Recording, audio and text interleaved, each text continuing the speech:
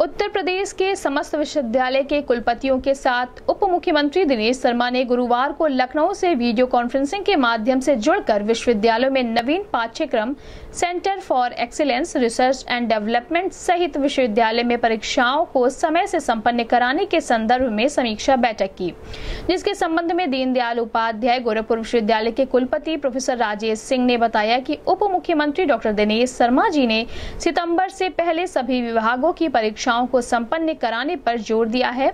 कुलपति ने बताया कि 15 अगस्त तक परीक्षा कराने का निर्देश मिला है। साथ ही पाठ्यक्रम, centre for excellence research and development सहित विभिन्न बिंदुओं पर चर्चा किया गया। इस दौरान विभिन्न विश्वविद्यालयों के कुलपतियों के साथ गोरखपुर विश्वविद्यालय के कुलपति प्रोफेसर राजेश सिंह मौजूद रहे। इस संबंध में गोरखपुर न्यूज़ से बात करते हुए दीन दयाल उपाध्याय, गोरखपुर विश्वविद्यालय के कुलपति प्रोफेसर राजेश सिंह ने कहा। और आज माननीय मुख्यमंत्री जी जो हमारे विभाग के माननीय मंत्री जी भी हैं, वो आज चौबीस जून को दो बजे के साथ दो बजे अभी कुलपति गण के साथ एक वीडियो कॉन्फ्रेंसिंग करेंगे। जिसका एजेंडा आप सभी कुलपति महोदय लोगों को भेजा जा चुका है और इस कॉन्फ्रेंसिंग के माध्यम से एजेंडा में माननीय उप मंत्री जी जो निर्देश देंगे उसके आप सभी लोगों से अनुरोध है इसको सुन करेंगे और जो जो आप लोगों के द्वारा मैं जाना है या इसमें जो प्रगति है कृपया आप बताने का प्रयास करेंगे। नहीं पहले जो बताएँगे जो विज्ञान क्या प्रगति क्या है? हाँ। सर बताएँगे तब मैं प्रॉब्लम बताएँ किसी विश्वविद्यालय के लास्ट में है उनका जो आपको अपनी एक नाम आपका करेंगे बताइए क्या पहले क्या करना आपको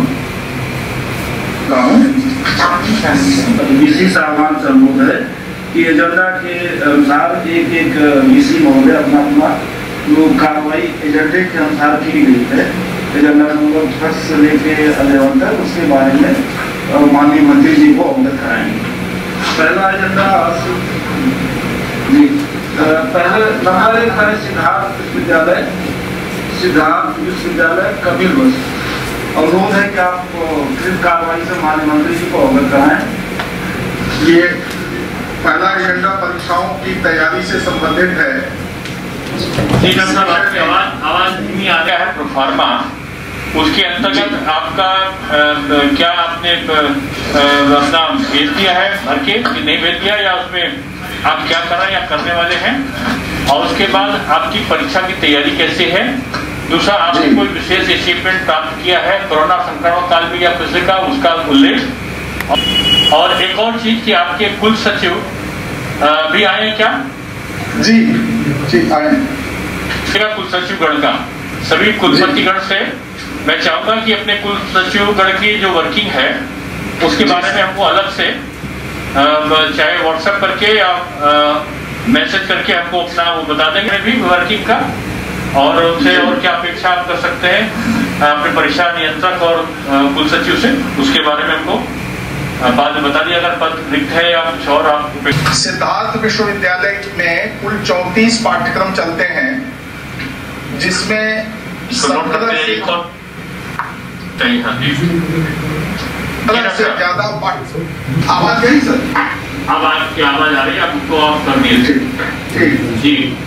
सर न्यूनतम सारा पाठ्यक्रमों की पाठ्यक्रम समिति हो गई है और जो न्यूनतम पाठ्यक्रम शासन द्वारा निर्गत किया गया है उसके परिप्रेक्ष्य में हम लोगों ने पाठ्यक्रम तैयार कर लिए हैं। परसेंट किंचित परिवर्तन के साथ उसको लागू कर अगले सत्र से इसको लागू करने जा रहे हैं।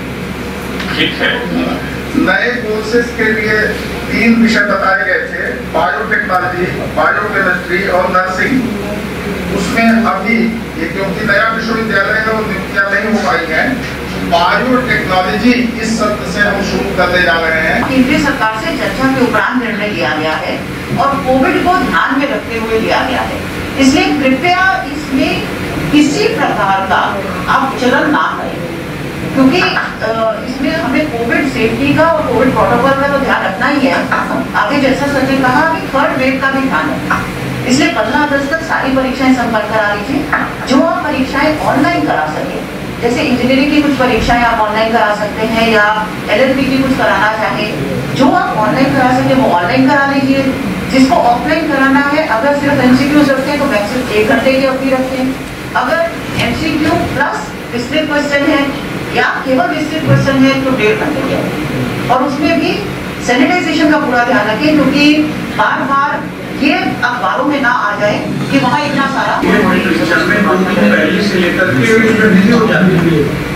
ये की परीक्षा बीस में बाईस को होनी उसकी उसकी वजह से यूनिवर्सिटी में बीएड की परीक्षा संबंधित कार्य लगभग तीन दिन चलते रहते हैं। और सभी शिक्षक परीक्षा के बारे में हम लोग विचार कर रहे हैं। कि अ, उसकी जो तिथि है उसमें क्या हम आगे पीछे कुछ कर सकते हैं? इस प्रकार का अभी मंथन चल रहा है। अ, उसके कारण उसको आप मानते नहीं बाईस को के जो व्युत्क्रम है उसको छोड़ के हम क्या कर सकते हैं? उसके पहले हम कर बदलना इसे कर लें? आप पाँच जुलाई से शुरू कर दीजिए एग्ज़ाम। बीएड की परीक्षा की तिथि अभी हम आपको सूचित करेंगे। उस पर भी मंथन चल रहा है ठीक है।